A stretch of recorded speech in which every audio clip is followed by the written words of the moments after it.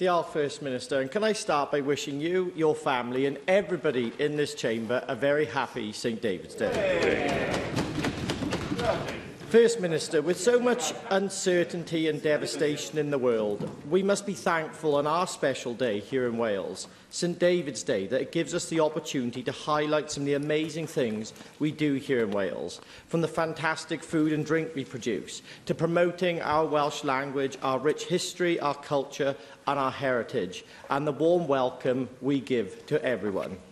St David's Day is promoted wider than here in Wales. Our business sector do this via Wales Week in London, where many top Welsh businesses go to promote their businesses and their products to a wider audience to boost trade and tourism opportunities for Wales, along with other events around the world. So, First Minister, what more work and support can the Welsh Government provide to St David's Day, to our businesses and the people of Wales, to provide economic benefits to all?